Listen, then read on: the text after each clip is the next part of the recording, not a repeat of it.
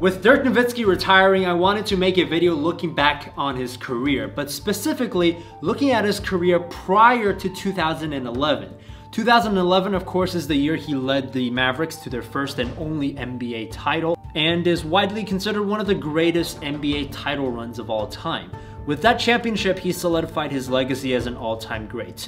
But 2011 was actually Dirk's 13th season in the NBA. This guy entered the league in the 90s. So what happened during the first 13 years of his career? How did he develop?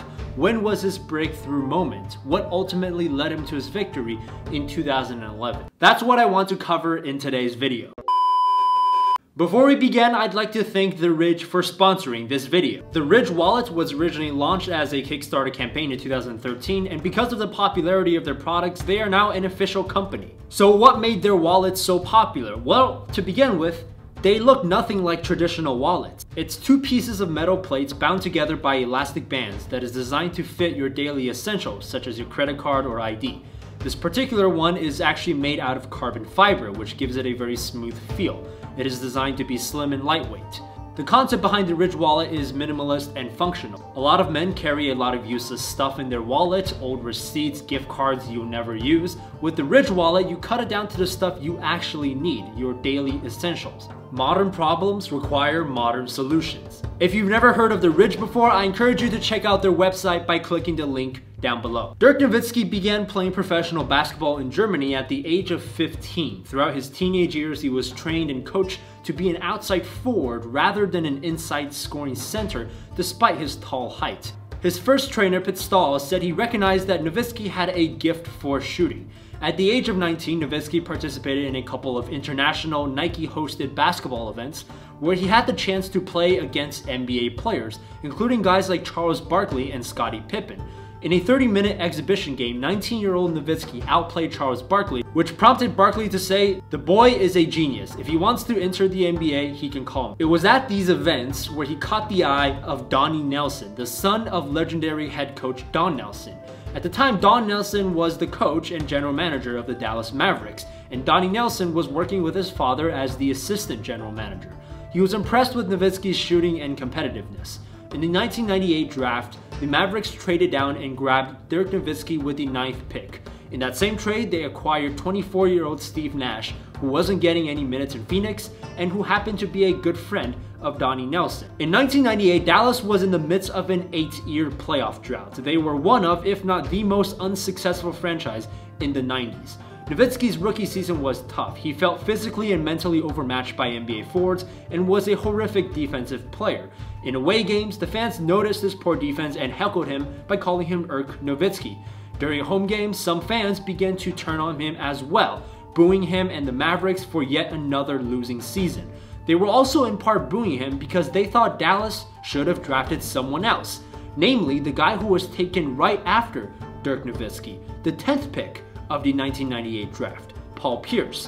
While Nowitzki was struggling, Paul Pierce was averaging 16 points per game as a rookie on his way to making the all-rookie first team. Unlike Nowitzki, who nobody knew about before he came to the NBA, Pierce was a McDonald's All-American in high school and played for a very famous basketball university. Pressure almost got to Dirk Nowitzki, who years later admitted he seriously considered going back to Germany. The transition to the NBA was like jumping out of an airplane hoping the parachute would somehow open. In the offseason after Nowitzki's rookie year, Dallas underwent massive changes. Most notably, the team was sold to tech millionaire Mark Cuban, who upon purchasing the Mavericks immediately made changes to turn the franchise around.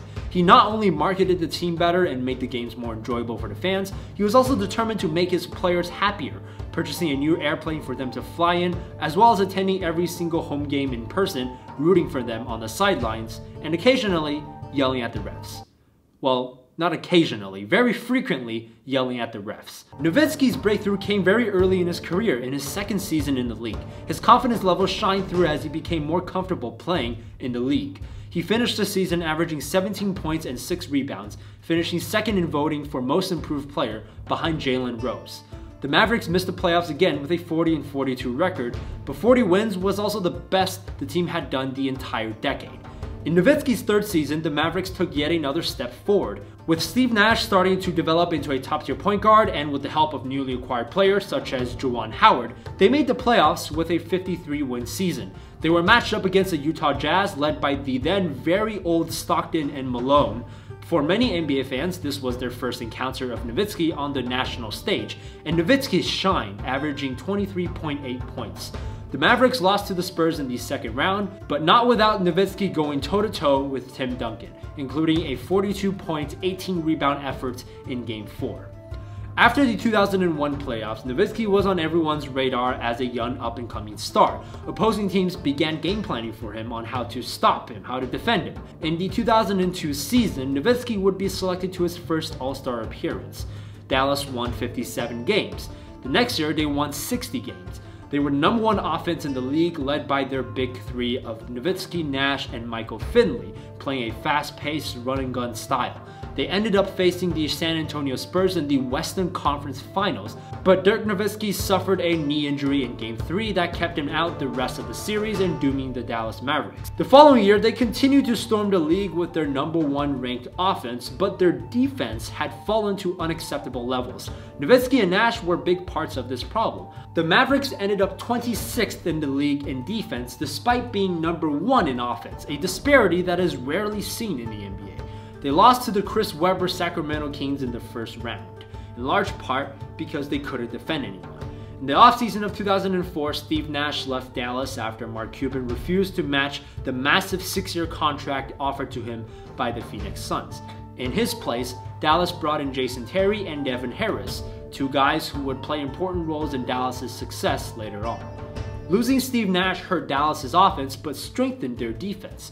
The team became even more centered around Nowitzki and his skill set, which resulted in a more balanced play style. While Nash ended up winning MVP that year, Nowitzki managed to finish third in voting, right behind Shaq. The Mavericks won 58 games and met the Steve Nash Suns in the second round. In Game 6, with the Suns up 3-2, Nowitzki struggled with his shot, making only 9 of 25 field goal attempts. The game went into overtime where Nowitzki missed all 5 of his shots. Once again, Dallas was eliminated from the playoffs.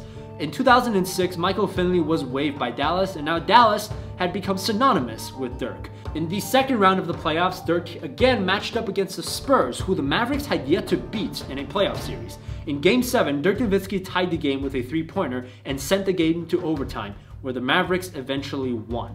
They met the Phoenix Suns in the conference finals again, and this time the Mavericks prevailed in six games, including a monster 50 point performance by Dirk Nowitzki in Game 5. The Mavericks had made it to the NBA Finals for the first time in franchise history. Against the Miami Heat, the Mavericks took a 2 0 series lead and were poised to take a 3 0 lead, but gave away a 15 point lead in the third quarter.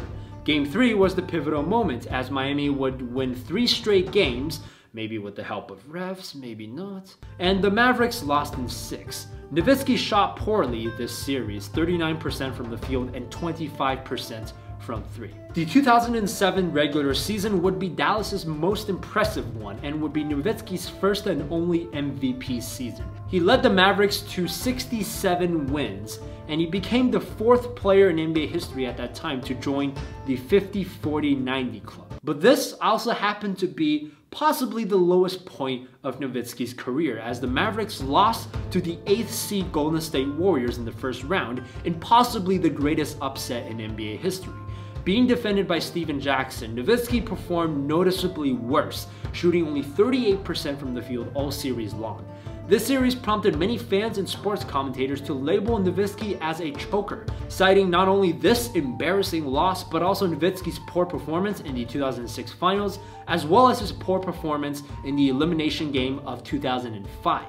In 2008, the Mavericks brought in Jason Kidd, but failed to recapture the magic that got them 67 wins the year before.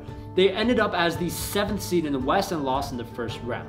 After this season, Avery Johnson was fired and Rick Carlisle was hired as the new head coach.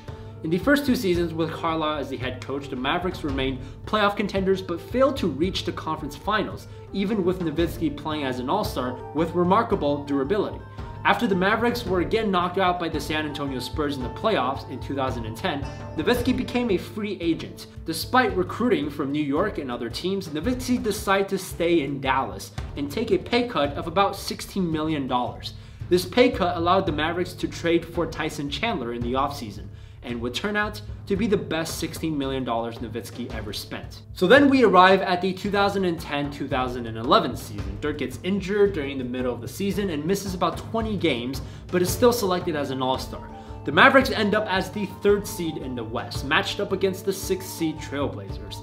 This was not a matchup people expected Dallas to win. In fact, many people picked Portland to win the series, citing Dallas's playoff troubles in the past five years, as well as questionable matchups. They weren't exactly wrong. With a 2-1 lead in the series, Dallas blew a 23-point fourth quarter lead in game 4, and it seemed to be the same old story. But Dallas won the next two and moved on to the second round where they faced the Lakers. Despite having played in the same conference at this point for 13 years, this was actually the first time Kobe and Dirk had faced each other in the playoffs. And as a shock to everyone, the Mavericks swept the Lakers, where Pau Gasol was simply no match for Nowitzki. In the conference finals, the Mavericks triumphed over the young Durant-led OKC team, where Nowitzki averaged 32 points per game. In the finals, they again faced the Miami Heat, but this time a very different Miami Heat. The Big Three led by LeBron in his first year in Miami. Despite a remarkable playoff run by Dallas, most people favored Miami in this series. Their super team was none like any other we had seen before, but the same fourth quarter issues that had plagued Dallas over the years now plagued Miami. The Heat blew a 15 point fourth quarter lead in Game 2 and allowed Dallas to tie the series 1 1. Miami won Game 3, and prior to Game 4, Nowitzki had a fever but managed to hit the game winner, drawing comparisons to Jordan's flu game. Nowitzki, with the help of Jason Terry, Shawn Marion, Tyson Chandler, JJ Barea, and many others, went on to lead the Mavericks to two more victories, winning the NBA championship. Between the years 2000 and 2011, Nowitzki led the Dallas Mavericks to the playoffs every single season, which is quite an accomplishment. And I think the reason why more people don't know that is just because the Spurs have been even better in that regard. Nowitzki's career actually has a fairly interesting arc with a lot of ups and downs. And I think it can be a good reminder for us not to write off certain playoff chokers just yet. But anyways, that is the video. Make sure to check out The Ridge for their cool stuff. And I will see you next time.